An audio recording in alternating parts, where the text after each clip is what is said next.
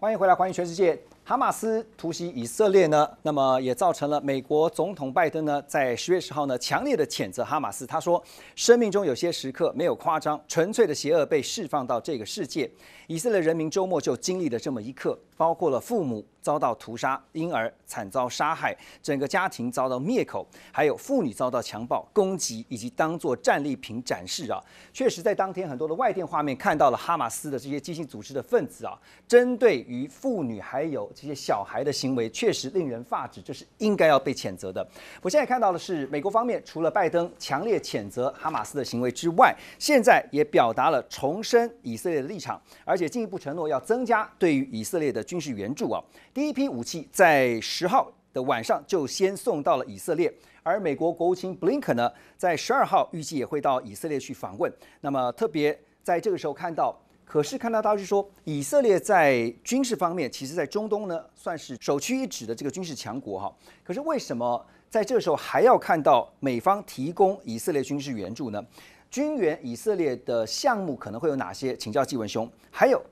为什么会提供军事援助？是担心这个战事一发不可收拾，会一直打下去吗？呃，以色列虽然是中东第一军事强国，但是有美国在后面做强力的支援，其实也是主要的原因之一哦。首先，美国派一些军力，包括海军和空军，甚至侦察部队，在周边，其实它可以用来监控。周边相关国家的军事调动状况，嗯，以免这些同期这个巴勒斯坦或者哈马斯这些阿拉伯国国家，哎，在军事上有一些这个相助的一些调动的一些迹象，提供以色列大范围的一些安全情报。那另外最重要就是讲到武器装备了。那我们知道以色列很多武器装备都是美制的，比如空军现在主力的 F 三十五。F 十六，对，因此它军援的武器装备有一大部分应该是这些武器的零附件，嗯，特别是战车、战战机或者攻击人机，高频度的执行任务，它相关的一些耗材、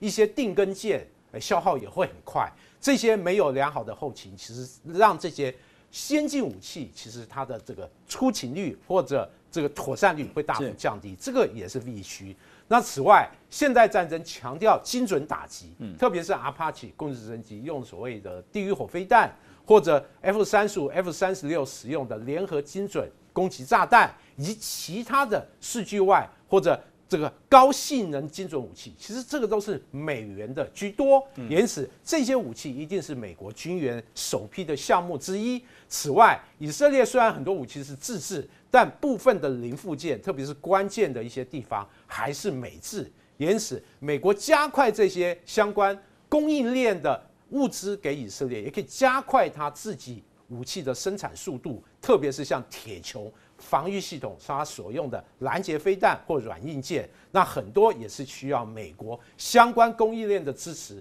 才可以加快它生产的速度。好，除了军援项目之外，哈，美方现在刚刚也提到说，国防部长奥斯汀你的表示说，现在已经下令啊，派出这个福特号的航母打击群到临近以色列的东地中海。这个打击群包含了这个福特号航母，还有呢一艘飞弹巡洋舰以及四艘飞弹驱逐舰，另外还包括了 F 三十五、F 十五、F 十六。A 十这个战斗机中队在内哈，现在看到是派出航母打击群，当然不会只针对这个哈马斯而已啊，一定是针对其他邻近的，包括呢也看到，呃，在前两天呢，其实新任的参谋联席会议主席布朗特别警告伊朗不要卷入以巴冲突。那么除了伊朗之外，当然也提到是黎巴嫩哈。那除了这些国家之外，还针对谁？老师，您觉得？其实不只是伊朗或者是黎巴嫩了，我们在新闻上面也看到，甚至连阿富汗都蠢蠢欲动。阿富汗甚至就放话说，只要约旦他们愿意借道的话，他们就要直接呃派兵长驱直入来帮助巴勒斯坦。嗯，所以我觉得某种程度来讲的话，美国当然是在做一个政治上的宣示，就如同刚刚这个何龙说到的。那如果说要拿这个呃航母的打击群来对付哈马斯的话，那个是杀鸡焉用牛刀了。所以他的政治上的这个宣誓啊，透过这样子的一种航母打击群的进驻，来表示说美国并没有完全的放弃中东这个地区，摆在那边警告大家不要轻举妄动。对，尤其是要对以色列来作为一种政治上面的一种支持跟宣誓，这个是非常的重要。嗯，因为他也他们如果说都完全没有任何的军事上的动作的话，对于以色列来讲会是一个打击，是不是？意思就是说，哎，美国是不是像放弃阿富汗一样的放弃我们？那派出了这样子的一个打击群的话，当然就是说对于以色列来讲会有一个安定的作用在。嗯，不过他们也希望就是完全不要失控，所以他们某种程度来讲也如同这种乌克兰的模式，也就是说我或许可以提供你军援、经济上面的或者说武器上面的援助是可以，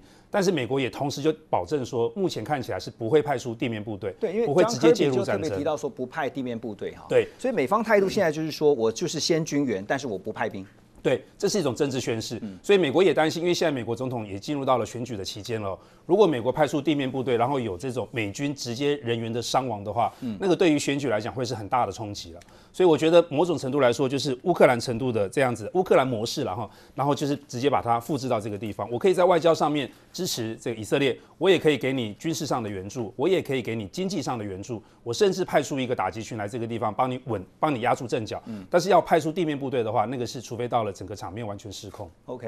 刚刚我们特别提到说，这起事件会不会是打坏了中东的一盘棋啊？因为这次看到以色列总理纳坦雅胡在事件发生之后，他特别。强调说，这场战争是由卑鄙的敌人、那些会庆祝谋杀妇女、儿童和老人的野蛮人强加于我们的。我们将击败哈马斯，就像是先前文明世界击败伊斯兰国一样。而且他说，向各位保证，当战争结束的时候，我们的敌人将会知道攻击以色列是一个可怕的错误。所以这次哈马斯突袭以色列啊，当然也严重打击到美方，就是美国呢，希望斡旋以色列，还有包括沙地阿拉伯之间呢，这几年逐渐。快要达成这个外交正常化协议的努力哈，事实上在。冲突发生前几周啊，以色列总理纳塔雅胡在联合国演说的时候，他还宣称说，以色列二零二零年跟三个阿拉伯国家达成关系正常化的亚伯拉罕协议，而且也特别表示说呢，已经预先显示出一个和平新时代的来临。没有想到却发生了如此重大的这个突袭事件啊！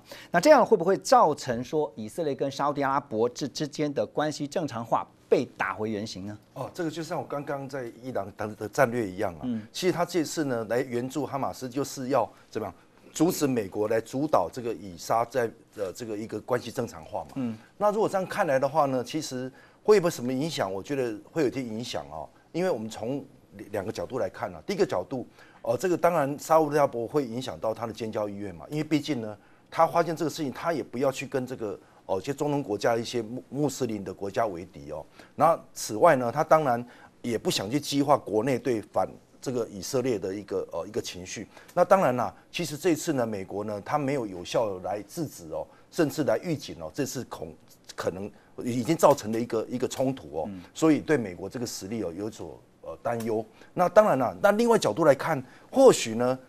伊朗有可能是帮倒忙，反而呢，加深了这个沙地阿拉伯跟跟这个所谓的这个以色列的链接，因为我有，因为我有这样才能够共同来抵抗这个呃伊朗的一个强权的一个介入。嗯，因为如果说还是需要两个国家来来制衡伊朗，来制衡伊朗，所以我看呢，其实这件影响的这个它的建交的时机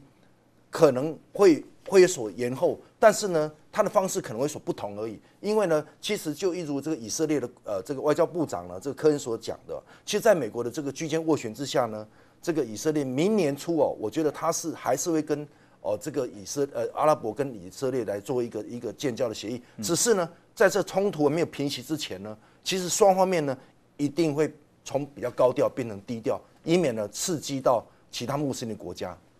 不过这两天也看到一些国际专家的预测哈，我继继续请教 Russ 啊，就是他们的预测是说，沙地阿拉伯可能会用同意关系正常化来交换美国。支持并且支援发展民用的核项目，这个部分你觉得呢？呃，我们知道他们正在讨论，嗯，三方美国、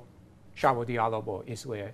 所以伊呃沙特阿拉伯想得到的东西非常非常清楚。你刚刚说的这个呃核子项目、核核子项目，还有希望美国可以跟沙地阿拉伯签一个这个国防协定，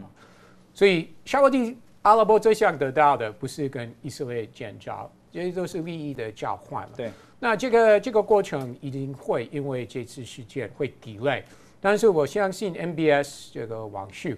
它基本上它它的政策方向不会有变化了。嗯，毕竟他也不是哈马斯的朋友，嗯，而且他也是会觉得我们已经支持呃西安的我刚刚提到的这个 Palestine National Authority 很多年了。但是这个这个呃巴勒斯坦呃民主权力机构内部贪污问题、不办选举等等的问题啊，所以他真的已经觉得啊。我等太久了，我最好先跟美国跟以色列 make a deal。这个真真的是他的想法。你刚刚提到 MBS 啊，其实在这个事件发生之后，MBS 就是沙国的王储，他特别也发言声援巴勒斯坦，但是他并不是声援哈马斯。他不可能，不是他的朋友，他不会。对，所以其实就是那大家会很好奇，说在这个时候他提出这个声援，而且是特别点名了是巴勒斯坦，那他是不是也会用来就刚我们提到的说用核项目的这个部分来交换哈？这是。后续大家会来关注的。好，等一下我们要来关心的就是中方在这件事情上面又是什么样的立场？马上回来，关心国际大事，掌握两岸动态，分析地缘局势。